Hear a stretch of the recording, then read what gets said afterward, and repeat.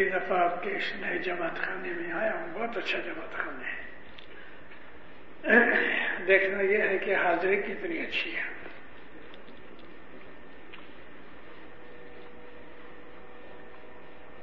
सखी महापद केरी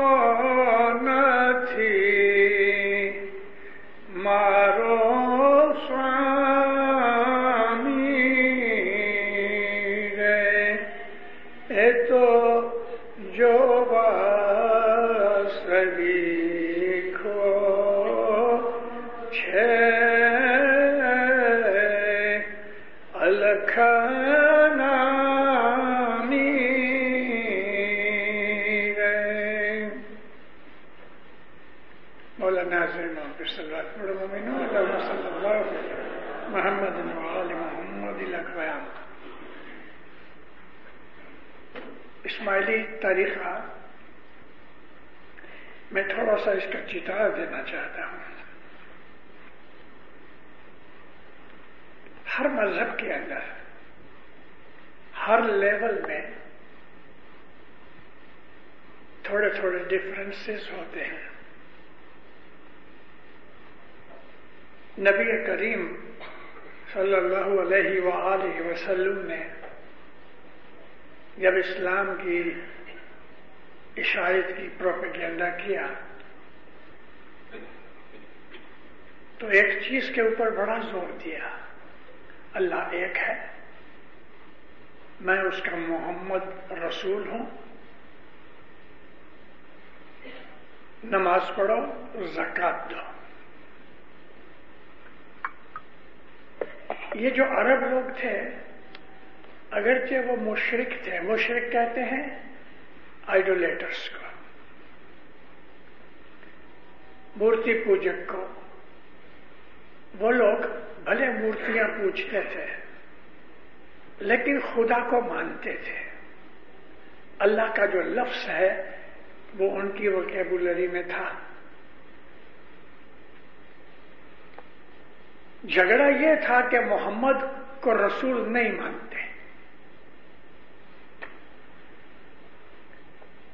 और अगर मोहम्मद को रसूल न माना जाए तो वो आदमी भले अल्लाह को मानता भी हो गए फिर भी वो मुसलमान नहीं है, काफर माना जाता है। काफर कहते हैं रिजेक्ट करने वाले को, जो मना करे, नहीं, मैं ये नहीं मानता। लफ्ज जो कुफ्र है, कुफ्र का मतलब है रिफ्यूज करना रिजेक्ट करना। तो रसूल अकरम ने इन लोगों को यह सिखाया, अल्लाह एक है, लेकिन मैं उसका रसूल हूँ। और मोहम्मद रसूलुल्लाह की रसालत को कबूल किया गया। नबी करीम के इस बात को कि उन्होंने मुसलमानों को एक बना दिया। ये जो यूनिटी थी उसके पहले हज़ार साल नहीं, लेकिन 1500 से 2000 साल भी अरबों ने कभी यूनिटी देखी नहीं थी, समझी नहीं थी। वो जानते ही नहीं थे कि यूनिटी क्या होती है। लेकिन इस्लाम में अल्लाह की जो यूनिटी है, यानी अल्लाह एक है, ये यूनिटी है। और ये जो यूनिटी है कि अल्लाह एक है, इसको सिस्टम के अंदर ला के खुदा ताला ने अपने इस नबी की मारिफत। जमात को एक बनाया। सब लोग लाइन में खड़े हो जाओ। अमीर, गरीब, आका, नौकर सब एक है। तो जो जमात है, वो एक यूनिट बन गई। जमात में अगर यूनिटी नहीं तो अल्लाह की यूनिटी उसके ऊपर असर नहीं करती। एक होना चाहिए। आप कभी खासतौर पे आप में वो लोग के जो मज़हब को मानना जानते हैं, पढ़ना जानते हैं, मज़हब की सिग्निफिकेंस जानना चाहते हैं, मज़हब में ऊंडे उतर के मज़हब की हालत को जानना चाहते हैं ऐसे आप में अगर कोई है तो मैं उनको ये कहता हूँ कि कभी कभी किसी मस्जिद में चले जाओ।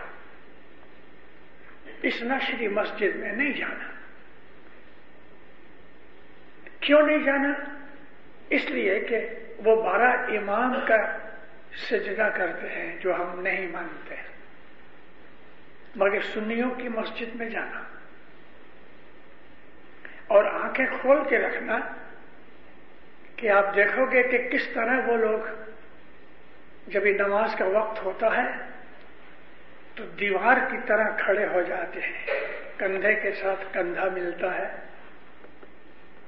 एक आवाज़ के ऊपर सजदा करते हैं। एक आवाज़ के ऊपर क्याम करते हैं, खड़े हो जाते हैं। ये एक बड़ी समझने की बात है। दस आदमी होंगे तो एक लाइन में खड़े होंगे। हमारे जमात खाने की तरह दो पाँच इधर, पाँच सात उधर, दो चार उधर, बीच में फुटबॉल ग्राउंड की तरह खुली ग्राउंड होती है, उनमें नहीं है। हमारे में यह खामी है। हमारे जमात खानों के अंदर लोग, थोड़े लोग होंगे तो दो चार इधर होंगे, दो चार उधर होंगे, बीच में जगह खाली होगी। वो जो सिग्निफिकेंस है यूनिटी की, हमारी जमात खानों में नहीं है। हालाँकि हमको हमारे पीरों ने कहा गया कि मुखी कमरिया के सीट के सामने आके बैठो। जितने नज़दीक बैठ सकते हो, नज़दीक बैठो। और खसूसी तौर पर दुआ के अंदर जब हम थोड़ा लेट भी आ गए हैं तो कई लोग बाहर खड़े रहते हैं। जब तक के दुआ पूरी नहीं हो जाए गलत सिस्टम है। अंदर आके ज्वाइन हो जाना चाहिए। और कम से कम हमको, हम एक दूसरे को पंजा दे सके, इतने नज़दीक तो ज़रूर होना चाहिए। रसूल अकरम ने अरबों के अंदर एक यूनिटी पैदा कर दी, जो ज़ाहिर में यूनिटी थी।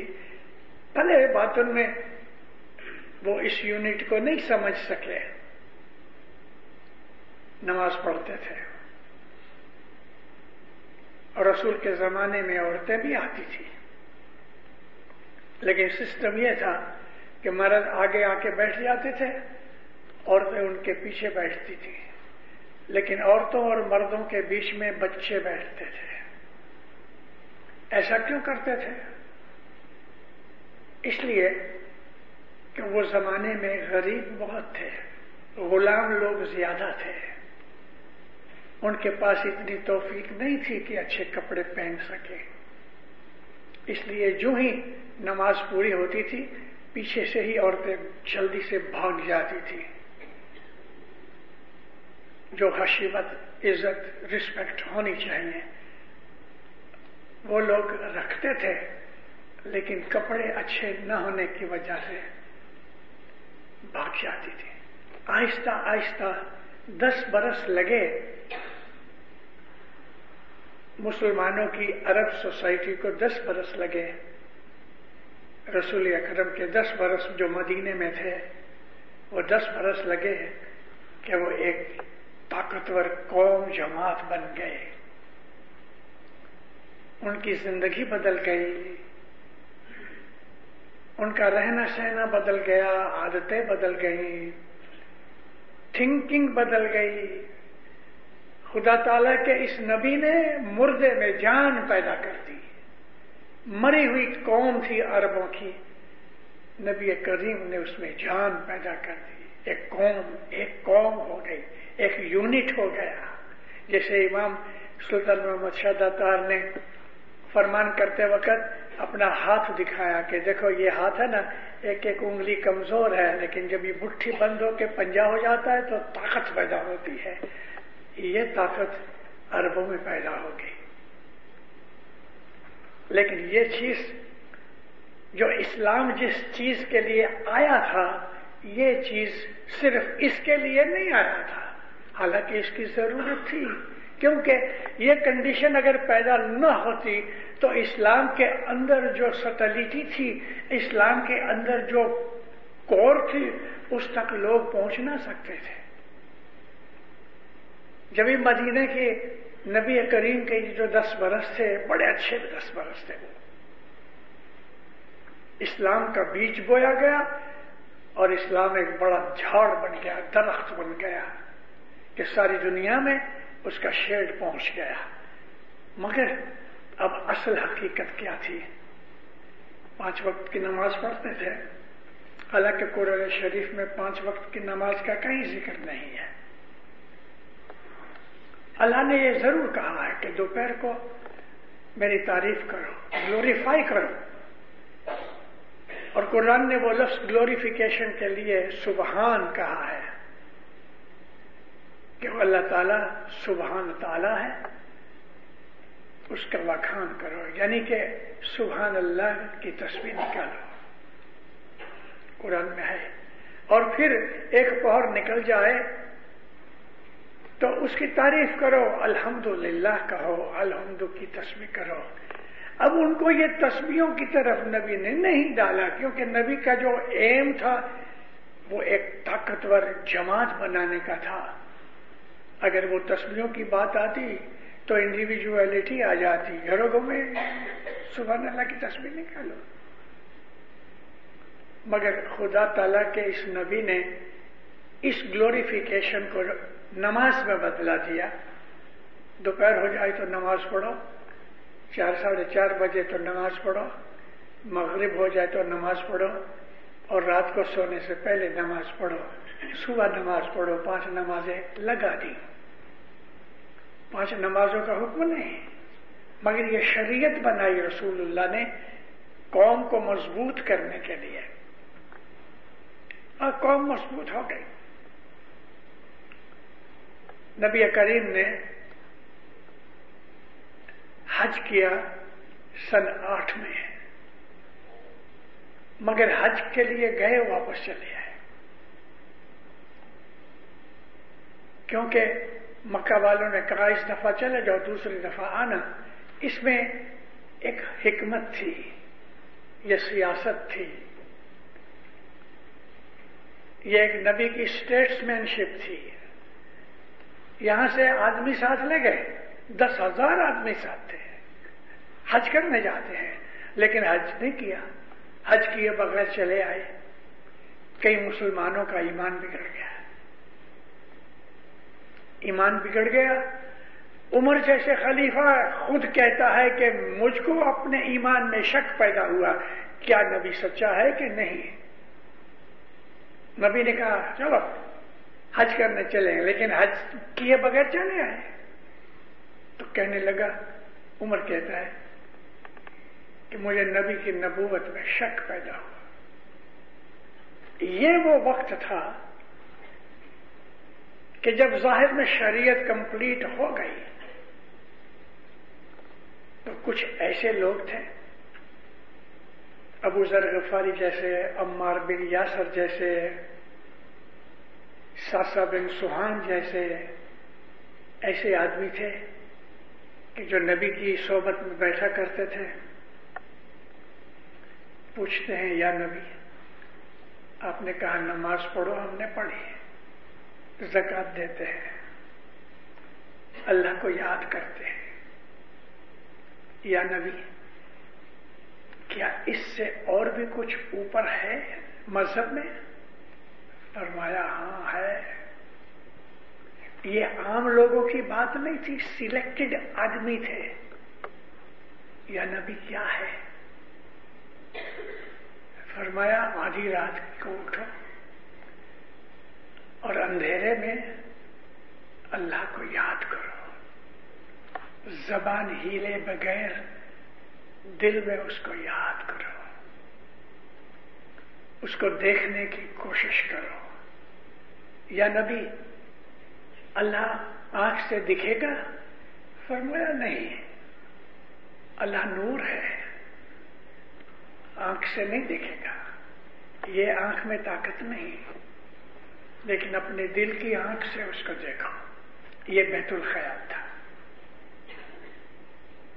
और ये सीरियस लोग जो थे, वो उठते थे। आधी रात को उठ के वज़ू करके बैठ जाते थे। कोई एक घंटा बैठता था, कोई छह घंटे बैठते थे। लेकिन ये सुबह की इबादत रसूल अकरम ने सिलेक्टेड लोगों को सिखाई और सिलेक्शन ही होता है इसमें। बेतो ख्याल की इबादत भी सबके लिए नहीं है। सब इबादत कर भी नहीं सकते। मौलाना हजर इमाम, देखो जो इमाम है ना, वो हकीकत में ज़मीन आसमान का बादशाह है एम्पर है। मेजेस्टी है। जैसा जमाना देखता है, ऐसा उसका फरमान होता है। मुझे याद है, खुद मेरे साथ बीता हुआ है। इमाम सुल्तान मोहम्मद शाह अपने अब्बा मौलाना अली शाह के जमाने से हट गए। अली शाह माँ बाप का जो जमाना था उसके अंदर बहुत मुश्किल से, बहुत मुश्किल से छुपा छुपा के बैतुल ख्याल की इबादत का बोल दिया जाता था। अर्जे कर कर के लोग थक जाते थे, लेकिन बोल नहीं मिलता था। सिर्फ़ एक आदमी के ऊपर अली शाह माँ बाप की रहमत बहुत उतरी और वो थे वज़ीर इस्माइल गांधी जी दिनदारों ये जो रास्ता है ना, बैतुल ख्याल का बहुत मुश्किल रास्ता है। और वज़ीर इस्माइल गांधी को अली शाह माँ बाप ने एक दिन कहा, मैं तेरे से खुश हूँ और मौला भी तेरे से खुश है। यानी कि मौलाना आसम अली शाह माँ बाप, ये पीरी जोमे की बात है। मैं चाहता हूँ कि तुझे मैं इबादत सिखाऊं कहते, नहीं यानी मेरे से नहीं होगा। और वो जमाना था कि छह घंटे की इबादत थी। रात को बारह बजे से सुबह छह बजे तक। खुद काला रूड़ा जो थे ना, वो छह घंटे की इबादत करते थे सुल्तान मोहम्मद शाह के बारे में भी। काला रूड़ा उन्नीस सौ बत्तीस में गुजर गए। वज़ीर इस्माइल चले गए। महीना, दो महीने हुए तो अली शाह माँ बाप ने फिर कहा, इस्माइल शी खुदा तैयार हो? नहीं मौला, मुझे नहीं चाहिए। मना करता था। यूँ करते करते तीन साल गुजर गए। और मौलाना अली शाह माँ बाप का जो प्रेशर था, बढ़ता गया। एक दिन ऐसा आया कि अली शाह माँ बाप ने इसको बुलाया। मौलाना अली शाह बाप दरवाजे पे खड़े थे जब ये आया। अब इस्माइल अंदर आ। नमन किया। अंदर आया मौलाना अली शाह ने दरवाज़ा बंद किया, ताला लगाया। ताला लगा के चाबी दिखाते हैं। देख, ये चाबी मैं रखता हूँ किसे? कहाँ से भागोगे आज मैं तुझे बोल देने वाला हूँ। और रो पड़ा। पाँव पे गिरा। अच्छा खुदा, मैं तेरा गुलाम यहाँ इसको इबादत मिली। बोल दिया गया। और उसके बाद तो फिर वो पीर बन गया। जो कि गुजर गया, गुजर जाने के बाद फिर पीर बन गया। लेकिन जब उसको इबादत मिली और उसकी मौत हुई, इसके दरमियान में बहुत बड़ा फ़र्क नहीं था। दो ढाई साल ही इबादत की और गुजर गए। अली शाह माँ बाप ने पीरी जो दर्जा दिया, बख्शीश नहीं लेकिन साथ साथ ये कहा कि दस हज़ार आदमियों को तार गया है। ये वो जमाना था कि इबादत जो थी ना, वो हीरे की तरह नायाब थी, मिलती नहीं थी। और जिसको मिलती थी वो मना करते थे। सुल्तान मोहम्मद शाह दत्तार के जमाने के अंदर जमाना बदल गया, हालात बदल गए। तो इमाम सुल्तान मोहम्मद शाह ने इसको आम कर दिया। 21 बरस की उम्र थी, शुरुआत में फिर 18 साल हुए 16 साल आ गए। 16 बरस की उम्र में आओ और बोल ले जाओ, बंदगी करो। और सुल्तान मोहम्मद शाह एनकरेज करते थे कि तुम इबादत करो। सोलह बरस की उम्र में बोल मिल जाता था, जिनको वो सत्तर बरस की उम्र वाले को बोल नहीं मिलता था।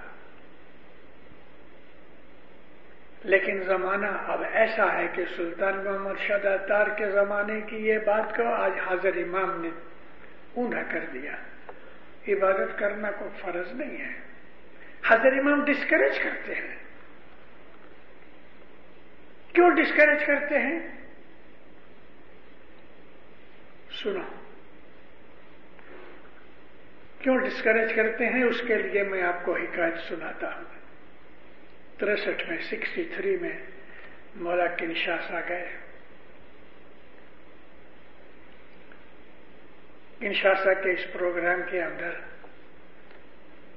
इकट्ठे हुए बोल बदलाने वाले हजर इमाम आके बैठे फ्रेंच में फरमान करते थे। सबको देखा। लगभग 64, 65 भाई भाई बैठे थे। बोला कहते हैं तुम्हारे में से जो बोल को भूल गया है, वो हाथ ऊँचा करो। किसी ने हाथ ऊँचा नहीं किया। हजर इमाम सबको देख के मुस्कुराए, फिर कहते हैं, तुम्हारे में से कोई बोल भूल गया है तो हाथ ऊँचा करो। तो एक दो ने हाथ ऊँचा किया फिर ज़ोर से मुस्कुराए स्माइल किया। फिर कहते हैं मुझे मालूम है कि तुम्हारे में से किसको बोल याद है, किसको नहीं याद। है मैं इंडिकेट करूँ, इससे तो बेहतर यह है कि तुम खुद हाथ ऊँचा करो, जिसको बोल भूल गया है, वो हाथ ऊँचा करे। मैं प्रॉमिस करता हूँ, साहब कहते हैं। गुस्सा नहीं करूँगा। मानो क्या हुआ? दो आदमी के सिवा सबने हाथ ऊँचा किया।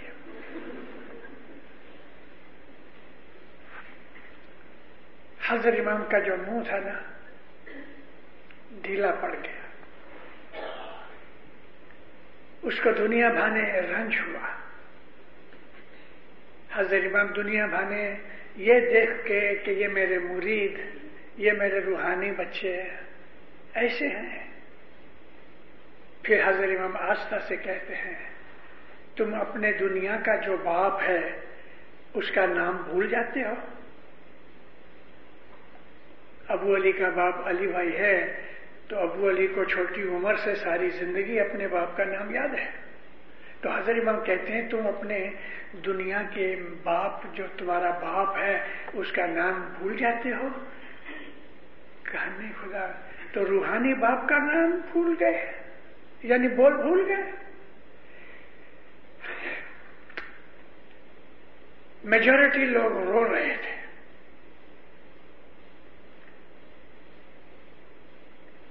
हजर इमाम ने फिर फरमाया, मैं तुम्हें मुआफ करता हम लोग बोल भूल जाते हैं। क्यों भूलते हैं? इसलिए कि इंटरेस्ट नहीं है। तो फिर लेते काय को बोल काय को लेना? कोई लाजिम नहीं। हजर इमाम कहता है कि ये बैतुल ख्याल की इबादत कोई लाजिम नहीं सुल्तान मोहम्मद शाह ने लाजिम की। क्योंकि वो जमाना ऐसा था। सोलह बरस के बच्चों को इंकरेज करते थे कि आओ और बोल ले जाओ। और दिनदारों वो लोग इबादत करते थे। इबादत करते थे। मगर हम यहाँ आज के जमाने के अंदर सिर्फ़ कनाडा, अमेरिका की बात नहीं करता हूँ। सारी दुनिया के अंदर इस वक्त जो हमारी खोजा कौम है, जिनको ये बोल की बख्शिश के लिए खुदा तला ने रहमतें की हुई हैं, ये हमारे ये अरब दोस्त जो हमारे भाई हैं या ईरानी हैं या बदख्शानी हैं, उनको बोल नहीं मिलता। सिर्फ़ जम्पू द्वीप के जो जीव हैं, उनके लिए ये रखा गया।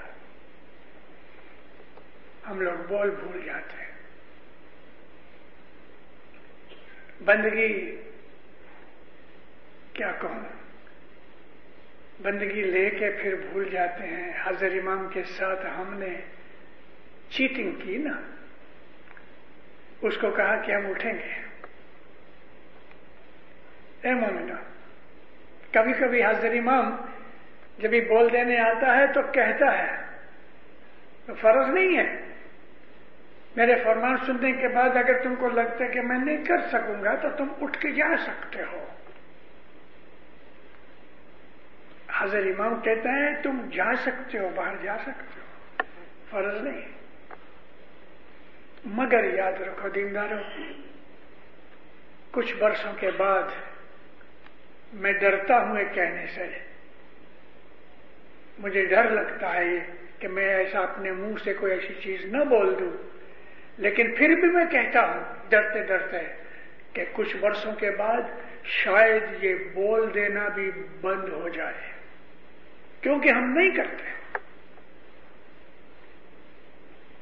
हम नहीं करते। मैं अभी आया हूँ, यूनियन विल जमात खाने से, सुबह उधर जाता हूँ। सताड़ा है। सताड़े की तस्वीर निकलती है।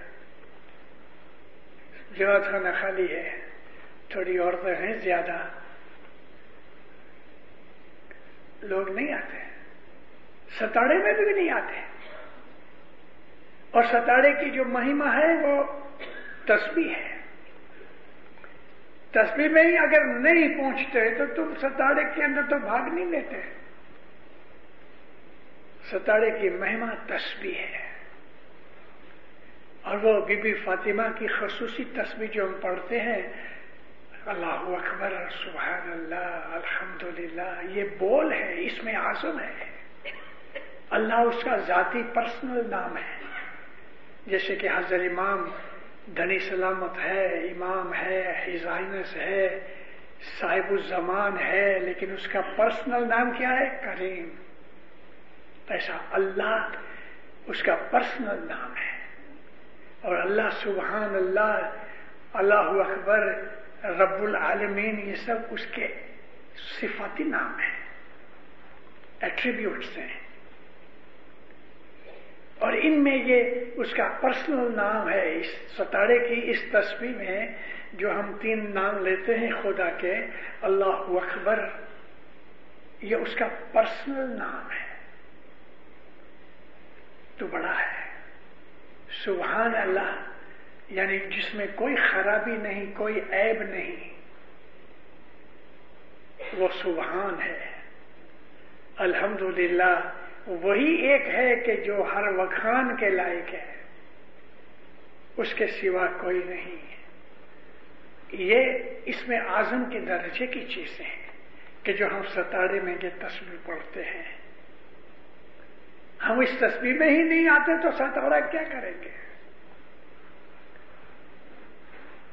ये रास्ता जो है हज़रत इमाम फरमाया इट्स ए हार्ड डिसिप्लिन बैतुल ख्याल की इबादत है, ये हार्ड डिसिप्लिन है। दिन को काम करना है, बच्चे पालने हैं फैमिली देखनी है। इन तमाम चीज़ों में से अपने दिल को खींच के सुबह उठ के इबादत करना इजी नहीं है। इसलिए इसलिए मैंने आपको कहता हूँ कि मैं डरता हूँ ये कहने में, लेकिन आपको मैंने कह दिया है कि ऐसा न हो कि कुछ वर्षों के बाद इमाम कह दिया अच्छा आज से बैतुल ख्याल का बोल बंद। मौला ऐसा न करे। हम लोग सीरियस नहीं हैं। हम अपने मज़हब को जानते ही नहीं और हम जानना भी नहीं चाहते मैं तीन दिन से मैं वाजे कर रहा हूँ, इस पर मैं हैमरिंग कर रहा हूँ कि अपने मज़हब को जानो। अगर मज़हब लिया है तो उसको जानो। और मज़हब को जानने के लिए घंटा, डेढ़ घंटा कुछ पढ़ा करो, लिखा करो, आराम से बैठ के सोचा करो। हमको अपने मज़हब की खबर होनी चाहिए। ये नूर का मज़हब है, ये नबियों का मज़हब है, ये रसूलों का मज़हब है, जो हमारे हाथ में आ गया है। पीरों की तोफैल आ गया है। उसने रहमत करके हमको दिया, हम इसके लायक नहीं हैं। इस्माइली मज़हब के लायक हम नहीं हैं। हमारे कपड़े अच्छे नहीं हैं, हमारी ड्रेस अच्छा नहीं है, हमारा ख्याल अच्छे नहीं है, हमारी आदतें अच्छी नहीं है। मैं कभी कभी सोचता हूँ कि यह मौला क्या हुआ तुझे कि तुमने ये बख्शिश हमको दी? एक इस्माइली दूसरे का दुश्मन है, फरेब करते हैं, दगा करते हैं, झूठ बोलते हैं। हमें आकबत का कोई ख्याल नहीं। और फिर हम बैतुल ख्याल का बोल ले आते हैं। मस्खरी है ना ये। जोक बना रखा है हमने। महापद के लिए बात कोई जाने। ये महापद है, जिसको कुरान शरीफ की भाषा में अरबी जबान के अंदर कुरान ने इसको मुकाम महमूद कहा है। रसूलुल्लाह के लिए ये लफ्ज निकाला गया, मुकाम महमूद, महापद। कि इससे ऊँचा और कोई मकाम नहीं। यानी ये इशारा है मेराज की तरफ़। ये बैतुल ख्याल का जो रास्ता है, ये तो साधुओं, ऋषियों, मुनियों का, पैगंबरों का रास्ता है जो हमको मिल गया। शेख सादी ने, शेख सादी बहुत अच्छा पोइट था। उसके कलाम में बड़ी हिकमत है। आदमी को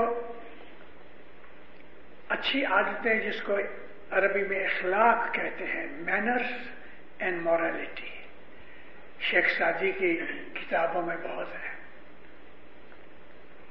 कहते हैं, बड़ी अच्छी मज़े की चीज़ है।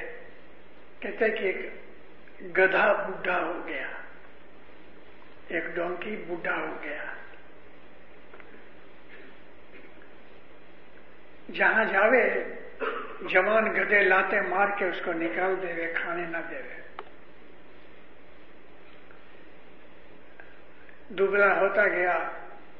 नागहा एक दिन यकायक उसने देखा कि एक शेर की खाल मरी पड़ी है, यानी शेर मर गया और अंदर का गोश्त हाइनास खा गए।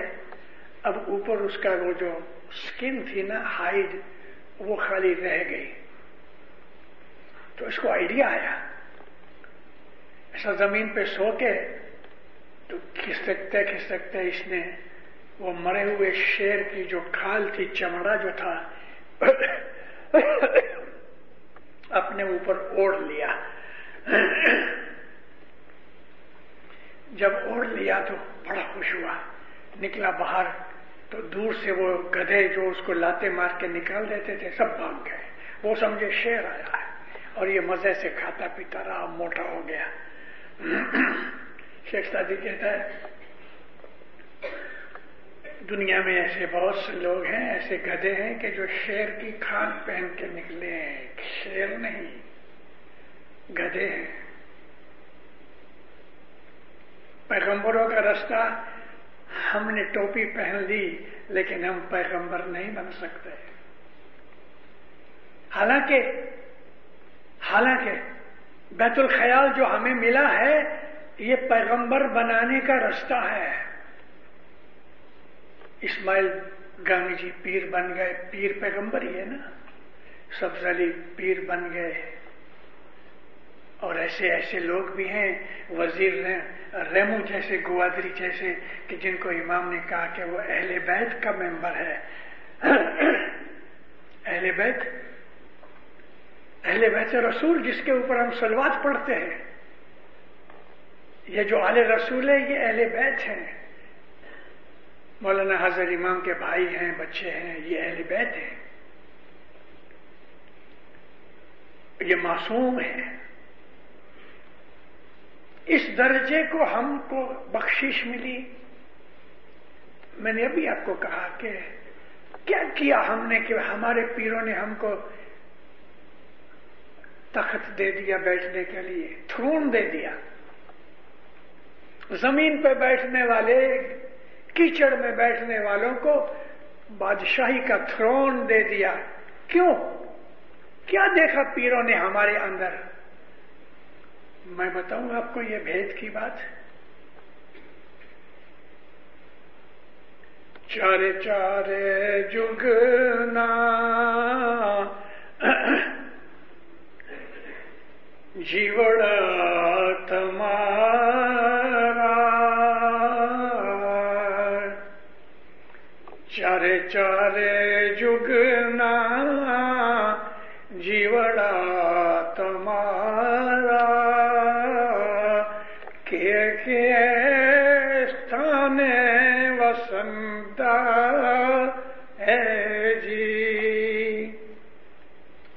ये कलयुग है? चार लाख बत्तीस हज़ार बरस लंबा है। कल युग का पीरियड चार लाख बत्तीस हज़ार four hundred thirty two thousand years का लंबा है इसका पीरियड। लेकिन सिर्फ़ सात हज़ार दो सौ बरस इसके निकले हैं। सवा चार लाख बरस बाकी हैं।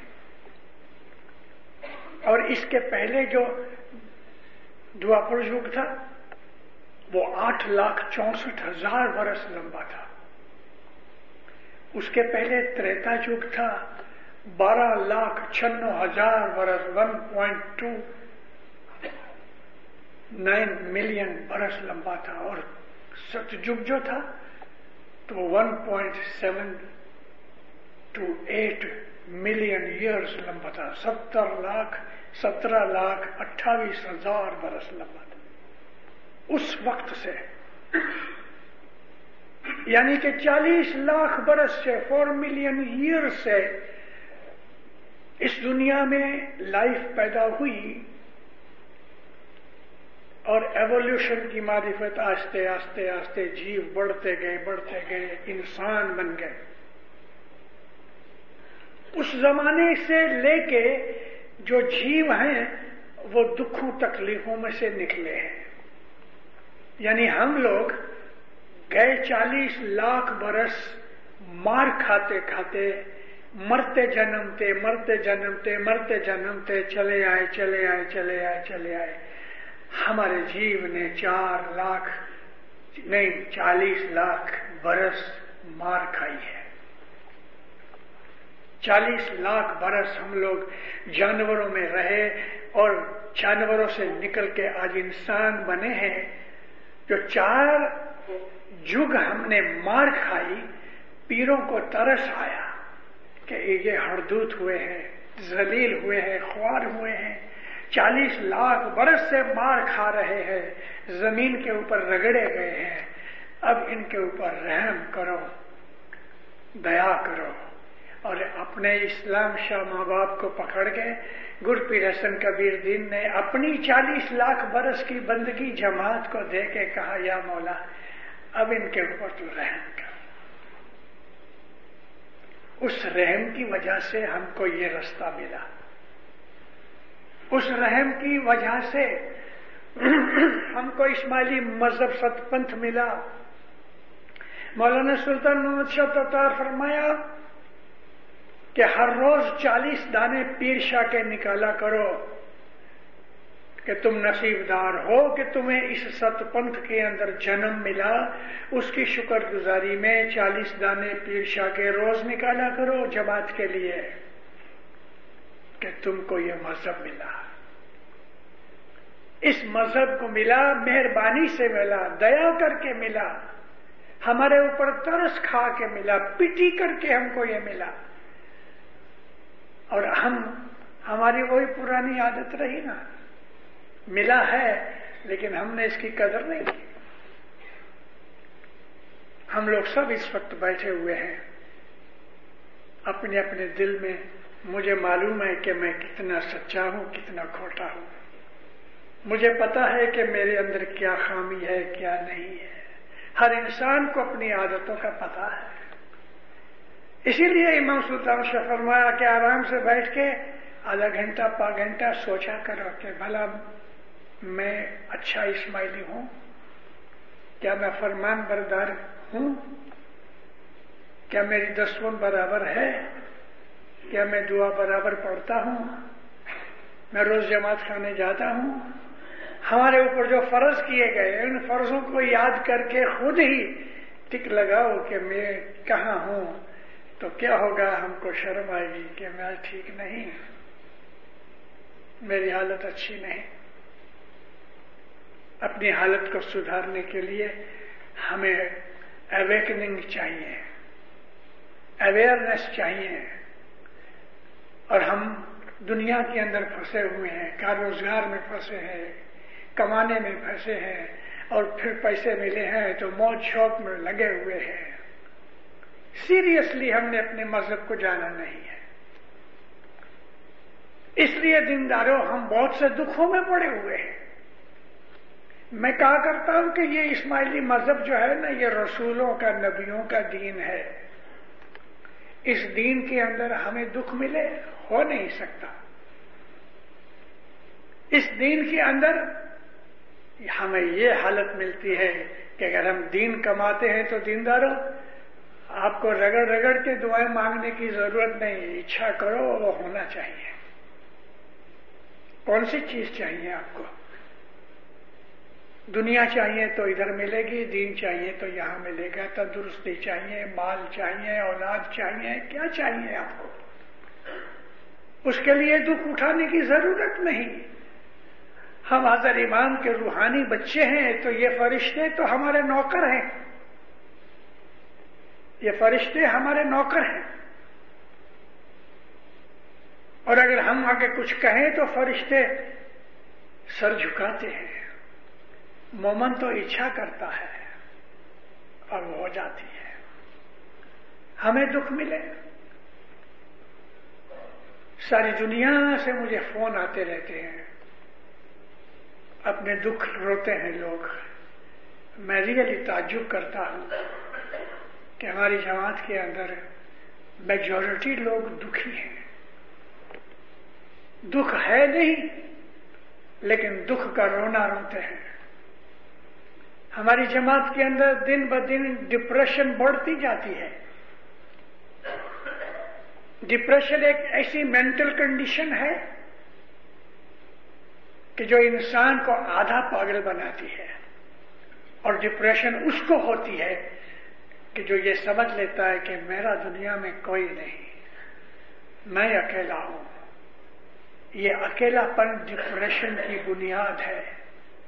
अगर उसका ईमान सलामत है, वो जानता है कि मेरा मालिक, मेरा रूहानी माता पिता बैठा है, उसको कभी डिप्रेशन नहीं होगी। और डिप्रेशन का कारण भी नहीं। उसी को डिप्रेशन होती है कि जिसका ईमान खराब है। हाय, मेरा क्या मुझे डर लगता है, भीख लगती है। इसलिए कि हमने अपने मज़हब को जाना नहीं।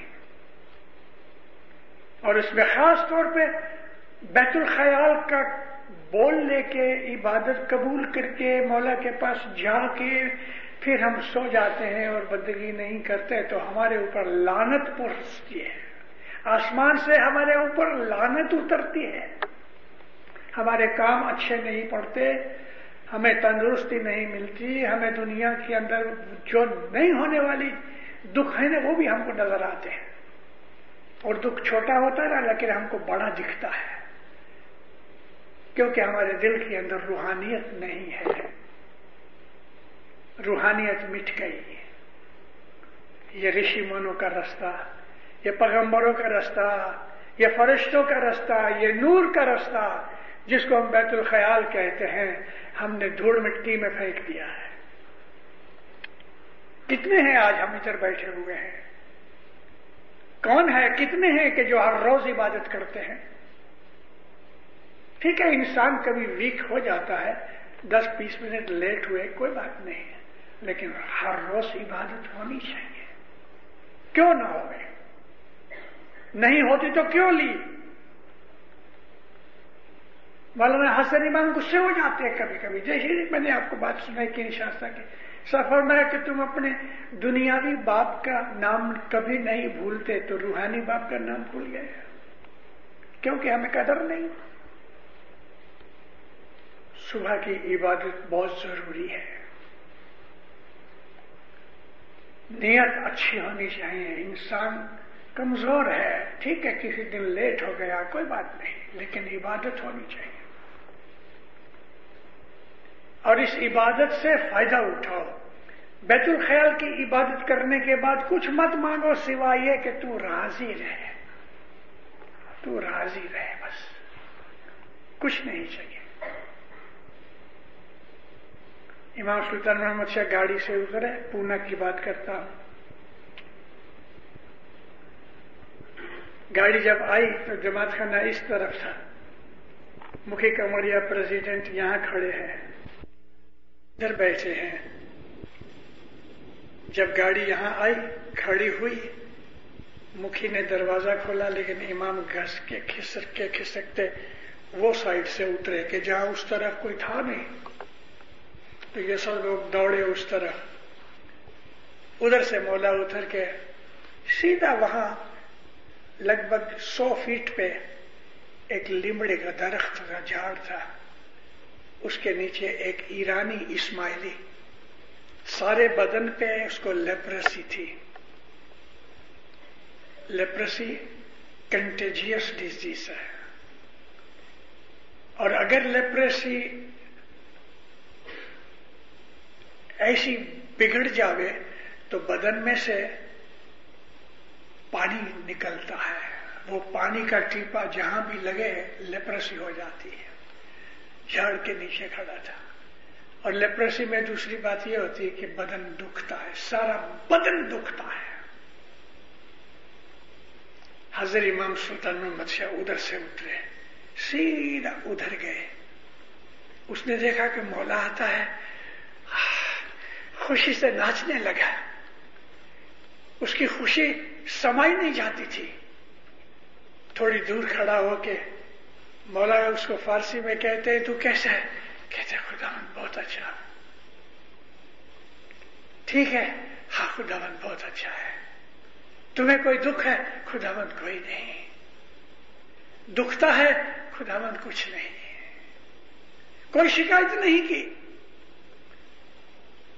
मैं मर रहा हूँ, मुझे दुखता है, मुझे ये बीमारी है, मुझे ऐसा है, मुझे तैसा है। एक लफ्ज नहीं कहा उसने, एक कंप्लेंट का शिकायत का, एक लफ्ज नहीं कहा। मैं बहुत अच्छा मैं बहुत अच्छा मैं बहुत अच्छा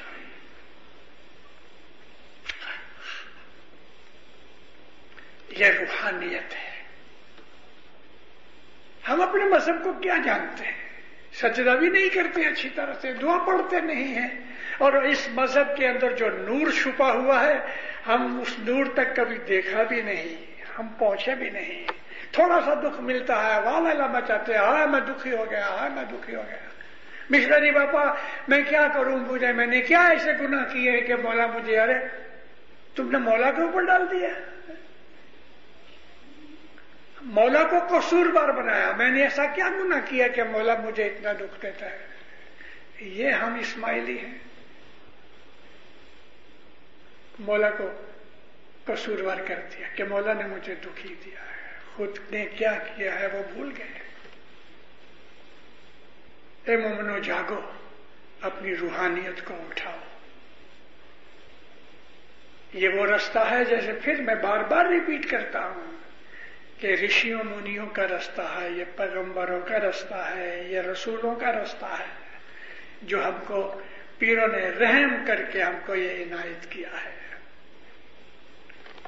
बहादुर बनो ताकत वाले बनो, इबादत करो, बराबर दस्तबंद दो, इस मालिक से मोहब्बत करो।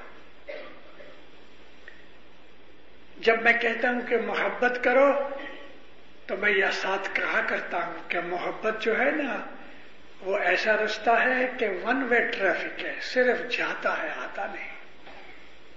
मोहब्बत में लोग मांगते नहीं। इससे मोहब्बत करो और मांगो मत। दुख है उसके लिए तस्वीर निकालो लेकिन मौला को ये मांगते मांगते हम मांगते ही रहेंगे। हमने अपने रूह के लिए कुछ मांगा कभी कि, या मौला, तू मुझे नूर की बख्शिश दे। या मौला, तू मुझ पर राज़ी हो।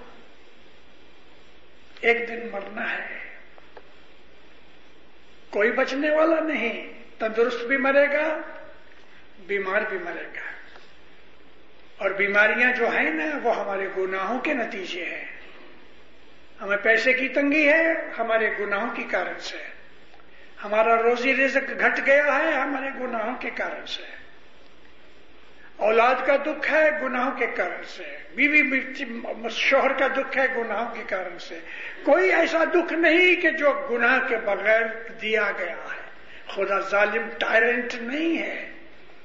ईदी अमीन की तरह या ये दूसरे जो बदमाश निकले डिक्टेटर जो जुल्म करने वाले हैं, खुदा ऐसा नहीं है।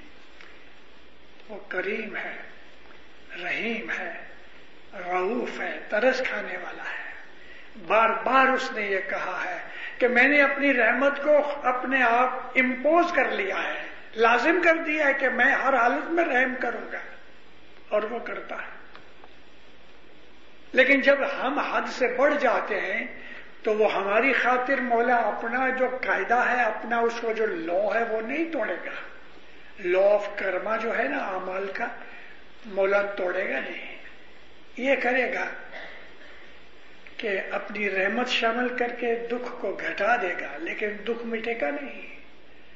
और दुख हमारे अपने हाथ से किया होता है। और हम जब दुख का रोना रोते हैं, उसको भी दुख होता है। बच्चे के रोने से माँ खुश नहीं होती। वो माँ से भी ज़्यादा रहीम है। मौलाना सुल्तान मोहम्मद शाह फरमाते हैं कि सारी दुनिया के माता पिता को उनका जो प्यार है, एक जगह इकट्ठा करो तो मेरा प्यार उनसे भी ज़्यादा है। और वल्ला हाजर इमाम हमको बहुत प्यार करते हैं। उसके प्यार की वजह से हम खाते, पीते, उठते, बैठते हैं। उसकी रहमतें बेहिसाब हैं। हम भिखारियों की तरह हैं कि जिसने कोई मेहनत नहीं की, लेकिन सेठ उसको भीख देता है। यानी हमने कोई अच्छे अमाल नहीं किए, हमने कोई ऐसी चीज़ नहीं की कि खुदा हमको मालदार बना देवे, तंदुरुस्त बना देवे, हमको इज़्ज़त अबरू दे देवे, लेकिन फिर भी देता है। बैतुल ख्याल बहुत ज़रूरी चीज़ है। सीरियस चीज़ है। और इससे क्या होता है कि हमारे ख्यालों में, हमारे विचारों में, हमारी आदतों में, हमारे एक्शन में आस्ते आस्ते सफ़ाई आती है क्लीन होते हैं हम लोग। गुना घट जाते हैं इबादत करने से। गुना घट जाते हैं। क्योंकि इबादत करने से हमको ऐसी अवेयरनेस आती है कि गुना करने से बचते हैं। हमको पता लगता है कि ये चीज़ अच्छी नहीं और जब ये बनता है, दिन ब दिन हम क्लीन होते जाते हैं। और जब मौत आती है तो फिर हमको वो लेने आता है, खुद लेने आता है। अल्लाह ताला कुरान में कहता है कि जब मेरे मोमन दुनिया से गुजरते हैं तो खूबसूरत अट्रैक्टिव फरिश्ते उसको लेने जाते हैं। लेकिन जब भी कोई काफर गुजर जाता है तो अल्लाह कहता है, भयानक डरावने ड्रेडफुल फरिश्ते उनको लेने जाते हैं. और ये जब भी जब भी काफर गुजरता है और डरावने फरिश्ते उसको जो रूह कब्ज करने वाले हैं, वो डरावने होते हैं, भयानक होते हैं तो इंसान का पखाना निकल जाता है, पेशाब निकल जाता है, डर के मारे मौत के वक्त इंसान जो आला दर्जे के लोग हैं, उनकी रूह आँखों से या नाक से या मुँह से निकलती है। लेकिन उससे नीचे के जो लोग गुनेगार होते हैं, उनकी कानों से निकलती, कान में खून आ जाता है मौत के वक्त। या पेशाब पखाने की जगह से रूह निकलती है तो इंसान का पखाना निकल जाता है। ये जिल्लतें ये रसवाइयाँ, उस वक्त उसको याद आती है और वो पछताता है कि या मौला मैंने कैसे गुनाह किए लेकिन सारी ज़िंदगी वो सुनता भी रहा वाजे सुनता रहा, फरमान सुनता रहा, गिनान सुनता रहा, लेकिन अपने आप को उसने सुधारा नहीं तो मार खाए। मार खाए। बोला सुल्तान शाह फरमाते हैं, नबी की हदीस है ये, कि कबर के अंदर आतिश का गुरुस मारा जाएगा। कुरान पढ़ो तो बदन लर्जेगा, डर के मारे। ऐसे खुदा ताला ने हमको इशारे किए हुए हैं। इन काफरों को गुनेगारों को खुदा ताला बॉयल किया हुआ पस पिलाया जाएगा, पस। बॉयल पस पिलाई जाएगी। गरम गरम बॉयलिंग वाटर उनके मुँह में ज़बरदस्ती डाला जाएगा। ये इशारे खुदा ताला के कुरान शरीफ में बिल्कुल किए हुए हैं। हमारे गिनानों के अंदर भी कुरान शरीफ की इन चीज़ों को ज़िक्र किया गया है कि हमको ये सजाएँ मिलेगी और मिलेंगी, ज़रूर मिलेगी। मज़हब हमको ये सब इसलिए बचाने आता है कि हमको कहता है, ये काम नहीं करना, पकड़े जाओगे। तो ए दीनदारो ये जो महापद है, बैतुल ख्याल, सबसे ऊँचा लेवल जो है, पीर कहते हैं, कोई जाने जिन्हें सतगुर मिलिया सार सोई पिछाने, सतगुर मिलिया, लेकिन सतगुर ने जो कहा, हम माने तो। सतगुर ने तो कहा हमको कि मैं तुमको ये बैतुल ख्याल ये देता हूँ, ये नूर की चाबी है। बैतुल ख्याल, अमल करो जिंदारो, उठो। दुनिया के दुख सहन करके भी सुबह की इबादत करो। जहाँ तक बन सके जमात खाने आओ। इसलिए कि जमात खाने में जो रूहानियाँ हैं जमात खाने में जो फरिश्ते हैं, वो हमको इधर आके मदद करते हैं। हमको सलाम करते हैं, हमारी मदद करते हैं। इन फरिश्तों से दोस्ती करो। ये तैतीस करोड़ देव लोग जो है, इनसे दोस्ती करो। और फिर कहते हैं कि देव लोग प्रणाम करें। ये फरिश्ते उस मोमन को सलाम करते हैं, प्रणाम करें। सुबह की इबादत बहुत ज़रूरी है। ये हमारे मज़हब का एसेंस है। और अगर इस पे हम रहे तो इंशाला दुनिया और दीन की दौलतें आपके पाँव के पास हैं। सुखी और आबाद रहो। मौला आपकी नेक उम्मीदें पूरियों करे, बदियों बुराइयों से बचावे, गुनाहों से बचावे, नाफरमानी से बचावे। मौला हिम्मत देवे, ताकत देवे, ख्यालात की पाकिजगी देवे, अमल की पाकिजगी देवे। मौलाना हजर इमाम, आप पर, आपकी आल औलाद के ऊपर, दुनिया भर की जमात के ऊपर रहमतें करें, नवाजशें करे, शफकतें देवे, नेमतें देवे। दीन और दुनिया में सुखी आवाज़ रखे है ज़िंदा। तुझ बिना कोई अवर दी से स्वामी अमने छे मारो।